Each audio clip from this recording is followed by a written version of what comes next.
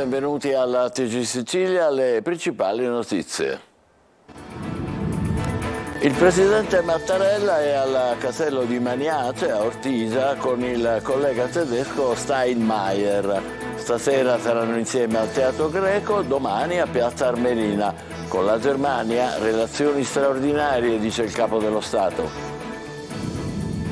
Caro voli, faccia a faccia Schifani Wilson di Ryanair, il governatore conferma la richiesta di garantire in Sicilia tariffe aeree più accessibili.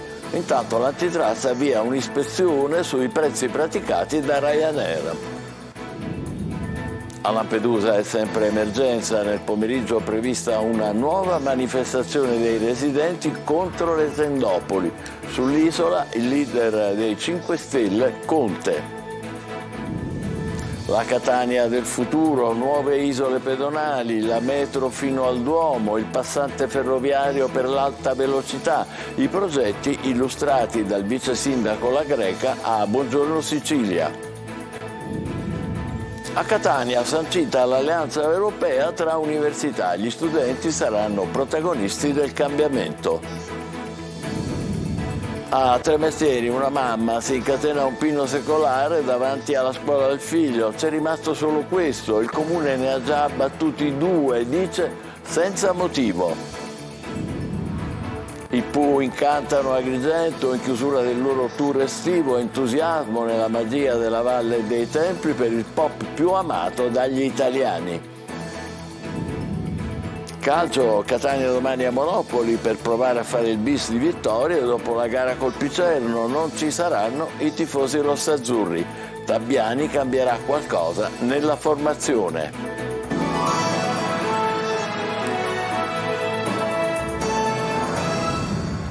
Ben trovati, iniziata la due giorni siciliana del Presidente della Repubblica Mattarella e del suo collega tedesco Steinmeier.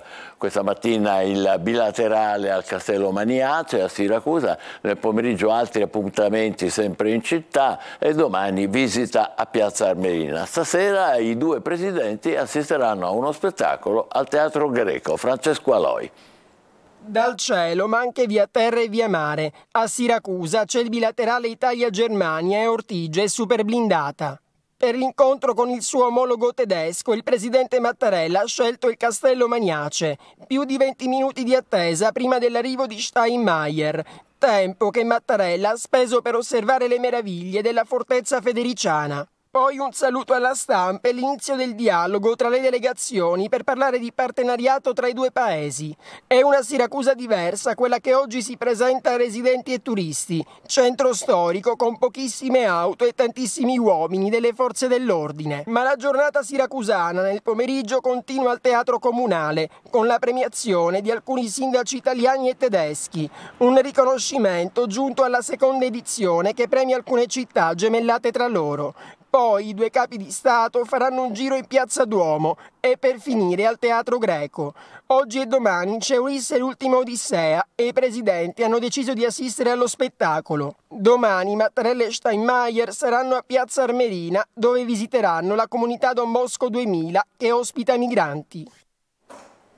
Caro Voli, ipotesi tavolo tecnico permanente fra la regione siciliana e Ryanair per tenere sotto controllo i prezzi dei biglietti degli aerei e prove di pace fra le istituzioni e la compagnia. L'antitrust intanto indaga per abuso di posizione dominante. Maglio Viola.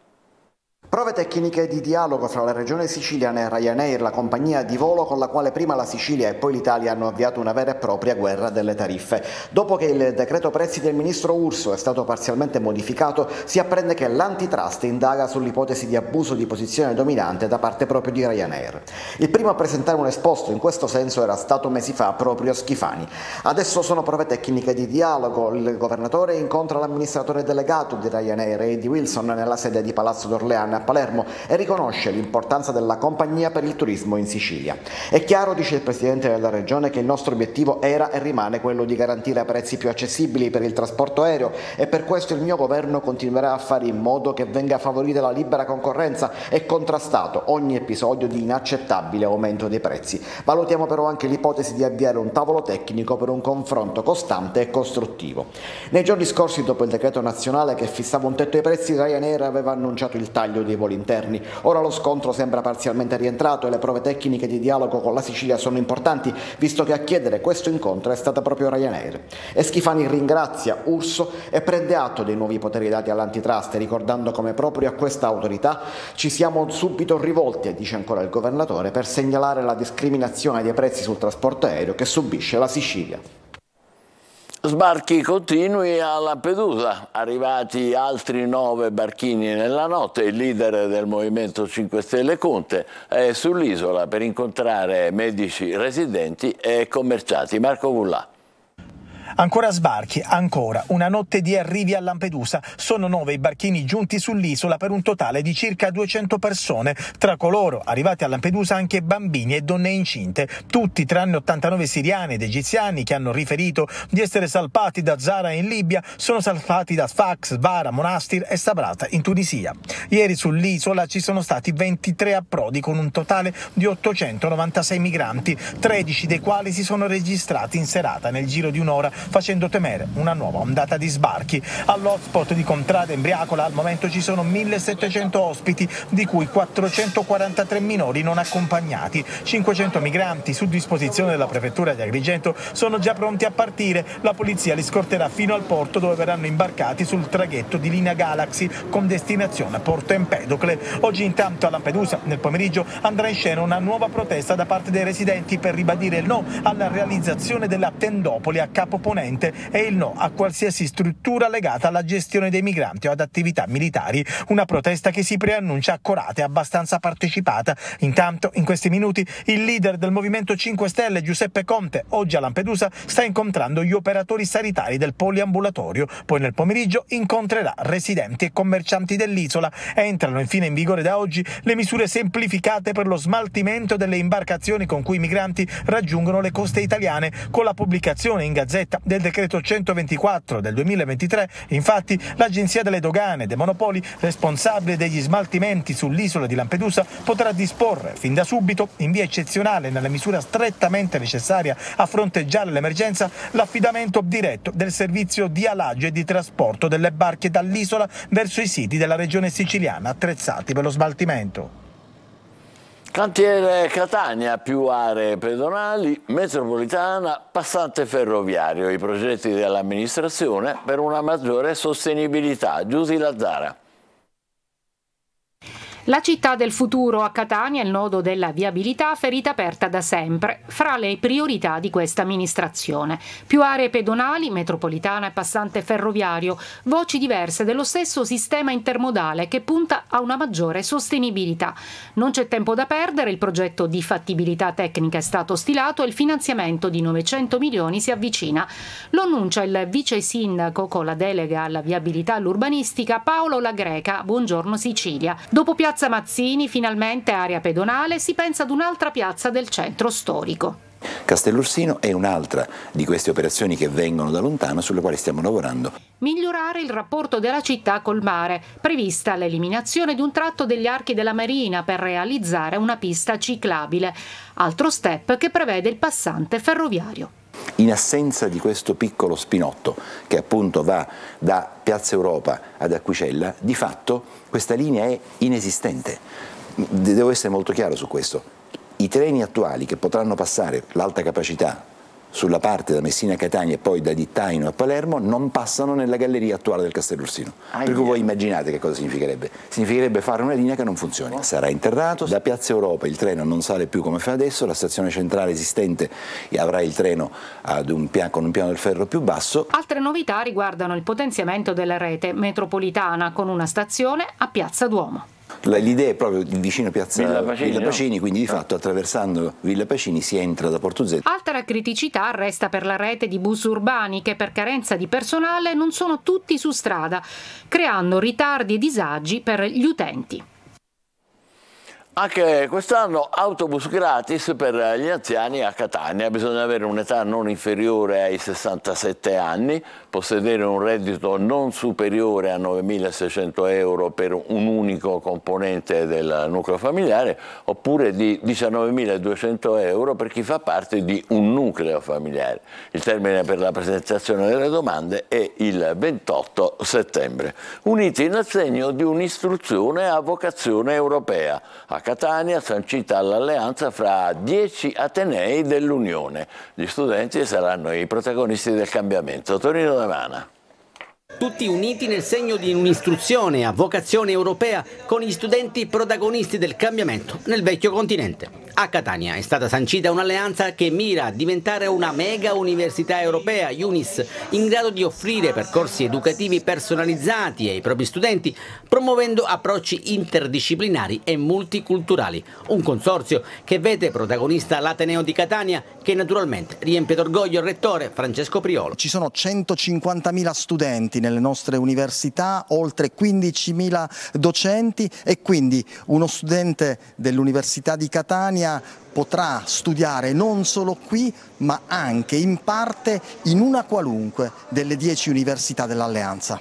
Gli studenti quindi sono gli attori del cambiamento? Assolutamente sì, l'Università Europea è per gli studenti e degli studenti e permetterà di avere uno spazio, dei corsi, delle ricerche ancora più all'avanguardia, ancora più interessanti. Si punta all'allineamento dei processi accademici ed amministrativi tra le università partner, da 7 sono passate a 10, con l'innesto di Peloponneso, Viseo e Karlstad, sull'ampliamento dell'offerta accademica condivisa e sul sostegno dell'apprendimento delle lingue straniere. Inoltre si svilupperanno e promuoveranno l'eccellenza pedagogica e l'innovazione nelle università dell'Alleanza con l'intento di contribuire allo sviluppo sociale, economico, ambientale e culturale dei territori coinvolti. Individuato dalla Guardia di Finanza a Catania un imprenditore che si occupa di commercio via internet di prodotti elettronici è accusato di evasione fiscale per quasi 3 milioni e mezzo di euro. Paternò avrebbero rubato merce per 23.000 euro al datore di lavoro, poi fingendo di aver individuato gli autori del furto lo avrebbero sottoposto a estorsione, l'accusa contestata dai carabinieri a un 28enne che è stato arrestato e a un 61enne che è stato denunciato. ISAB di Priolo, firmato il decreto che fissa limiti alle emissioni dello stabilimento, che dovrà assicurare il rispetto dei valori massimi dei metalli nelle acque reflue che confluiranno nel depuratore di zona. Il decreto conferma gli impegni già definiti per la salvaguardia dell'occupazione, la tutela della sicurezza sul luogo di lavoro, la salute, l'ambiente. A Catania si infiamma la vertenza Dussman che si occupa di servizi di pulizia dell'università. I lavoratori chiedono un adeguamento contrattuale, alcuni percepiscono soltanto 120 euro al mese a fronte di un contratto da 5 ore settimanali. in mattinata c'è stato un sit-in in Piazza Università a Catania. Tonino De Mana. Fischietto in bocca, bandiera in mano ed un carico di pensieri addosso per far quadrare bilanci familiari, ammesso che una famiglia possa andare avanti con 120 euro al mese. Sì, 120 euro al mese, frutto di un contratto da 20 ore al mese che impegna, si fa per dire, i lavoratori Dusman nei servizi di pulimento, di reception e di assistenza didattica dell'Università di Catania. Chiedono a gran voce un adeguamento contrattuale almeno di altre 15 ore e per questo avevano avuto qualche rassicurazione dal direttore Giovanni Lavia che nei giorni scorsi però si è dimesso. Il mio stipendio base è di 120 euro e per prendere 1000 euro al mese faccio quattro lavori per portarmi a mangiare a casa. Lavoratori e sindacati sono sul piede di guerra, cercano un nuovo interlocutore per proseguire una trattativa che si trascina da quasi due anni. Il futuro in base a quello che abbiamo passato non lo vedo così positivo, anzi oggi è un atto dimostrativo Quest'atto dimostrativo è per, per, fare capire all'Ateneo e a, tutti i funzionari dell'università che non stiamo scherzando. Eh, se non abbiamo un'interlocuzione diretta eh, saremo costretti a fare quelle forme di lotta che poi sono nella, nel nostro DNA che possono essere scioperi o altro. L'obiettivo è di arrivare almeno al minimo contrattuale. Queste paghe sono veramente esigue ed è veramente mortificante che un lavoratore faccia una dichiarazione del genere. Siamo qui appunto per dare dignità al lavoro, ai lavoratori e alle famiglie. Domani alle 9 una delegazione di lavoratori e di sindacati hanno chiesto ed ottenuto un colloquio con il dimissionario Lavia.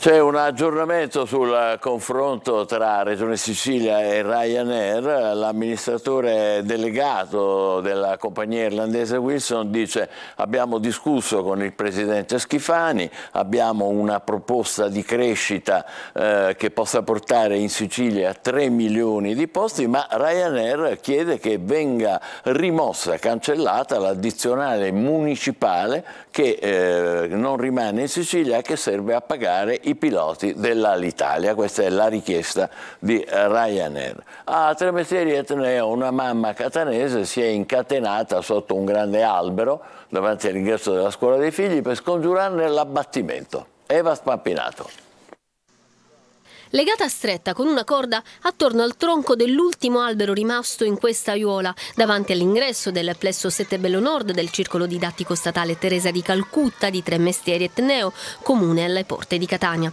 Questa mamma, che porta già nel nome Gea il suo spirito ambientalista, non si muoverà fin quando non saprà perché il comune ha deciso di abbattere degli alberi secolari senza esporre un'ordinanza. Siamo arrivati qui, abbiamo trovato già due alberi due pini molto grandi, anche un simbolo insomma, di questo quartiere, completamente abbattuti. Eh, era rimasto questo e quindi io ho deciso che lo dovevo salvare. Indignata anche Legambiente che interviene con una nota per chiedere altrettante spiegazioni. Momenti di tensione si sono vissuti questa mattina tra gli operai delle Aditta, le mamme e l'assessore alla protezione civile del comune di Tre Mestieri che prova a calmare gli animi. Gli alberi che in questo momento creano pericolo sia per quanto riguarda la viabilità, la sicurezza dei bambini, il defluire delle acque piovane che qui quando chiaramente c'è maltempo, loro lo sanno, non si può nemmeno passare, per cui per una questione di protezione civile abbiamo dovuto per forza di cose intervenire in maniera diciamo, eh, più o meno drastica, ma saranno ripiantumati altrettanti alberi e forse anche di più ma noi siamo dovuti intervenire, per cui una questione di protezione civile. L'area sarà eh, riqualificata. I cittadini però non si accontentano di queste sommarie parole, vogliono vedere le carte e capire perché la ditta ha lavorato senza esporre alcun documento, quindi in modo irregolare. Nell'ottica di una manutenzione ordinaria, diciamo che il comune dovrebbe riservare una parte della propria economia proprio per pulire i tombini, non si toglie l'albero perché fa degli aghi di pino, si pulisce la strada. E qualcuno insinua dei sospetti legati al rifacimento viario e dei parcheggi della adiacente scuola privata. Questo a Tre Mestieri Etneo. Grande successo ieri sera nella Valle dei Templi di Agrigento per il concerto dei Pooh. 5.000 spettatori hanno assistito allo spettacolo e la celebre band italiana ha ripercorso oltre 50 anni di musica attraverso successi che hanno fatto la storia. Davide Sardo.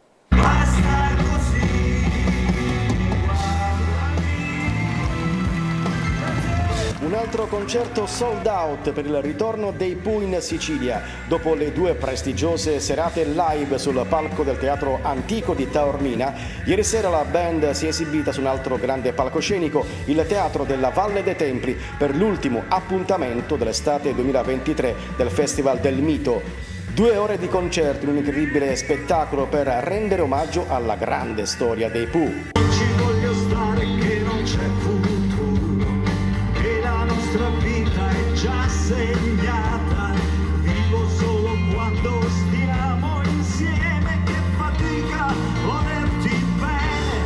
Sul palco Roby Facchinetti, Red Canzian, Dodi Battaglia e Riccardo Fogli per ripercorrere oltre 50 anni di musica attraverso successi che hanno fatto la storia, tra cui Amici per sempre, storico brano del 1996, ripubblicato in una nuova versione per celebrare questo ritorno insieme. Gli amici ci gli occhi, si capiscono meglio. Grande l'entusiasmo degli spettatori che hanno cantato a squarciagola tutte le canzoni di una delle band più importanti della storia musicale italiana che ha emozionato intere generazioni.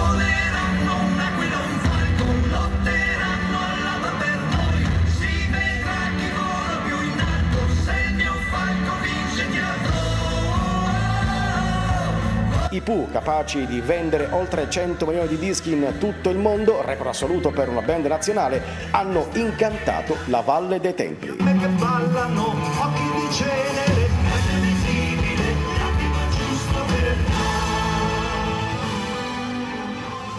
Doppio spettacolo, i Templi e i Pooh insieme. Facciamo una breve pausa, tra poco per il calcio la trasferta a Monopoli del Catania. State con noi.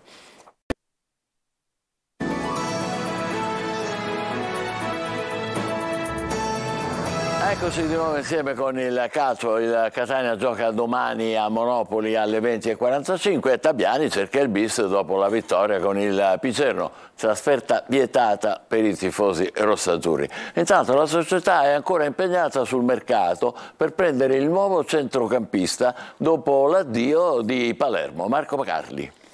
Obiettivo proseguire il cammino e se la partita con il Picerno era comunque delicata perché il Catania doveva cominciare a vincere, quella di Monopoli assume un significato simile, prima trasferta su un campo tradizionalmente ostico ma su cui il Catania vuole confermare progressi e soprattutto i tre punti. C'è pure l'amuleto, quel Tommaso Silvestri che giocherà ancora al centro della difesa e che quasi tre anni fa punì i pugliesi a domicilio nell'ultimo successo etneo in casa del Monopoli. In totale sono stati due, con sei vittorie dei padroni di casa e cinque pareggi negli altri precedenti. Nella formazione di partenza out Rizzo ci sarà Ladinetti al centro della mediana, mentre Rocca e Zammarini dovrebbero partire ancora dal primo. In difesa Quaini scalpita per un posto, ballottaggio con Curado. In attacco Bocic se la gioca con Marsura, mentre Di Carmine e Chirico saranno ancora là davanti per rinnovare l'intesa vista con il Picerno e che ha portato anche i due gol. Sul mercato si stanno facendo delle valutazioni anche sul budget, i nomi, Liotti e Zanellato su tutti, va capito cosa in realtà serve in organico per sostituire Palermo più un centrale nel caso di Zanellato o un poliedrico che può giocare a sinistra sia a centrocampo che in difesa come Liotti. A Monopoli non ci saranno tifosi del Catania, trasferta vietata perché il settore ospiti dello stadio veneziani è inagibile. Per ultime le notazioni sui padroni di casa, due partite giocate finora, il Monopoli deve recuperare mercoledì 27 la prima gara di campionato con la Casertana. Un solo punto conquistato, pareggio in casa 2-2 col Monterosi Tuscia e sconfitta per 2-1 nell'ultimo turno a Potenza. Eh, ci fermiamo qui, la TG Sicilia torna alle 20, grazie per l'attenzione, buon pomeriggio.